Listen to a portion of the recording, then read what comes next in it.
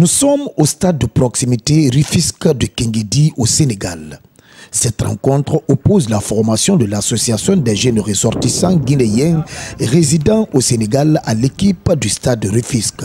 Dans cette formation de la GRG, voici un jeune guinéen du nom de Ali Badraba, milieu du terrain et très remuant.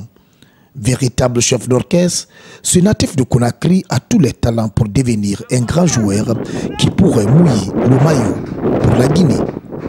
Bon, Ali Badraba, c'est un bon joueur, il est bien. Il a fait le maximum de ce qu'il pouvait faire aujourd'hui sur le terrain. Et ce qu'il a fait, à 90%, il est bien. J'ai courtoyé beaucoup de jeunes joueurs de U17. J'étais un ami intime à Adibou Camara aujourd'hui qui joue à l'espoir de Lille, qui a été meilleur joueur guinéen parmi les U17, les cadets passés. Et lui aussi peut arriver, il peut faire mieux que ceci-là. Le football, c'est le travail. Avec ses tirs cadrés et son sens de déplacement, Ali Badraba a toutes les chances d'être convoqué un jour par la Fédération guinéenne de football. Ouais, ouais, cette touche de balle, même là, il n'a pas commencé aujourd'hui. Là, je le connais par ça depuis étant tout petit. Il joue bien, il est trop technique. À ce qui concerne le match quand même, il a fait peu aujourd'hui. Moi, le petit que je connais, il ne s'est pas présenté aujourd'hui totalement. Vous voyez Donc moi, j'ai vu certains de ces matchs qui dépassent totalement le match d'aujourd'hui. C'est un bon joueur pour moi. Moi, je le félicite. Je ne dirais même pas qu'il peut jouer à U17, mais je dirais qu'il pourra jouer même à U20. Pour les tirs au but et surtout les coups de pied arrêtés, Ali Badraba a pour idole et référence l'international allemand du Real Madrid, Tony Kroos. Avec un encadrement sérieux, le jeune bas a devant lui un avenir radieux. Bon, il y a beaucoup d'académies que j'ai fait en Guinée, comme l'académie CDK, Étoile Finante, AS Kaloum Junior.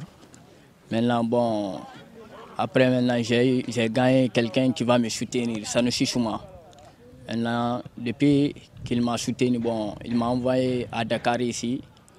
Bon, maintenant, depuis que je suis venu à Dakar ici, je remercie le bon Dieu. Je joue bon, dans, un, dans un bon club ici. J'ai aimé le football depuis mon enfance. Bon, je rêve de jouer comme Tony Cross au milieu du terrain. Je rêve de jouer comme Tony Cross. Puis c'est bon, pendant tout temps, je n'ai fait qu'étudier l'expérience de Tony Cross. Je regarde son vidéo dans mon téléphone à chaque fois pour, puisque je vais jouer comme lui quoi, au milieu du terrain. Sollicité plusieurs fois pour se naturaliser, l'enfant de Yimbaya a une seule ambition, jouer pour le Sili national, catégorie U17. Bon, je travaille dur pour, pour participer U17 2021. Je suis à la disposition de la Fédération guinéenne. Même si la Fédération me propose des bonheurs pour changer ma nationalité, pour que je joue pour le Sénégal, bon, je ne peux pas faire ça, puisque j'aime mon pays. Je rêve de jouer pour la Guinée. Je remercie Antonio Soare, puisque aujourd'hui, bon, malgré moi, je ne suis pas en Guinée, mais tout ce qui passe en Guinée, à propos du sport, bon, je suis au courant de tout. Vraiment, je félicite Antonio Soare, que Dieu lui donne la longue vie. Parce que quand tu vois aujourd'hui, c'est lui qui a valorisé le football guinéen, c'est lui qui a valorisé notre championnat guinéen. L'aventure n'est pas facile, mais avec la persévérance, le courage et la patience, les jeunes footballeurs guinéens vivant sur le sol sénégalais promettent ne pas croiser les bras.